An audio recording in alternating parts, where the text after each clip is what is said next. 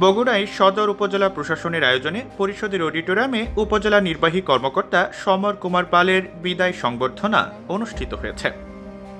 এই বিদায় সংবর্ধনা অনুষ্ঠানে বগুড়া সদরের সহকারী কমিশনার ভূমি নাসিম রেজা সভাপতিত্ব করেন। এ সময় সদর উপজেলার কর্মকর্তা কর্মচারী, উপজেলার বীর মুক্তিযোদ্ধাগণ, জনপ্রতিনিধিবৃন্দ এবং বগুড়ার আপামর জনসাধারণ উপস্থিত ছিলেন। চাকরি এমন একটি বিষয় যেখানে বদলি বা পদোন্নতি খুব স্বাভাবিক একটি প্রক্রিয়া। আমরা সবাই যে কোনো একটি স্টেশনে যাই, নির্দিষ্ট কিছুদিন কাজ করি, এরপরে সরকারের নির্দেশে আমাদের যেতে হয় একই স্টেশনে আজীবন চাকরি করার কোনো সুযোগ নেই। তো আমাদেরকে নিয়মতান্ত্রিকভাবে বদলি হতেই হয়। অনুষ্ঠানে প্রধান অতিথির বক্তব্য রাখেন সদর উপজেলা পরিষদের চেয়ারম্যান আবু সুফিয়ান শফিক।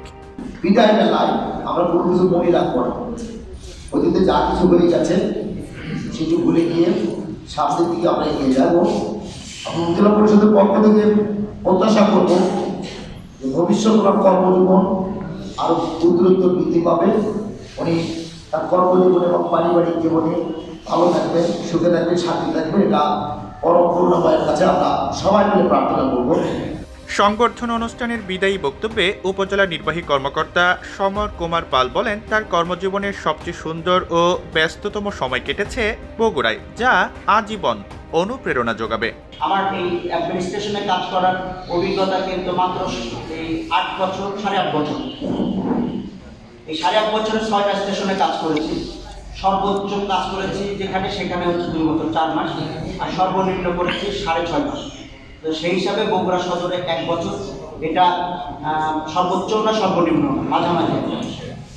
কিন্তু অভিজ্ঞতা এবং আন্তরিকতা ভালোবাসার জায়গায় কিন্তু সত্যিকার অর্থে আমি আপনাদের খুশি করার জন্য বলছি না।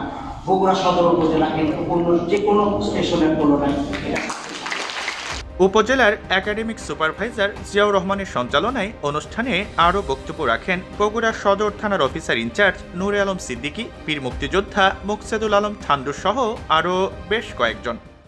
যারা সরকারি চাকরি করি আমাদের কাজই এরকম সারা বাংলাদেশ ব্যাপী আমাদের ঘুরতে হয়। যার কারণে এই বিদায়টা আমাদের একটা স্বাভাবিক বিদায় বলা চলে। আমরা কর্মক্ষেত্রে কাজ করি, কিন্তু থাকে যে আমরা যতদিন এখানে কাজ করি, ততদিন আমরা কতটুকু কাজ করতে পেরেছি এবং জনগণের পাশে কতটুকু দাঁড়াতে পেরেছি এবং আমরা কি স্বাক্ষর রেখেছি তিনি সরকারি অনুষ্ঠানে নয় বিভিন্ন সামাজিক অনুষ্ঠানে উনি আমাদের সম্পৃক্ত করেছেন। আমি এই উপজেলা প্রায় সব মিটিংয়ে অ্যাটেন্ড করতাম।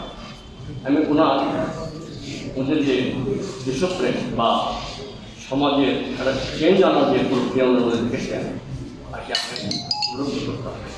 সংবর্ধনা অনুষ্ঠানে উপজেলার সকল দপ্তরের পক্ষ থেকে বিদায়ী ইয়নো সমর কুমার পালকে ক্রেস্ট ও বিভিন্ন স্মারক তুলে দিয়ে বিদায় জানানো হয়।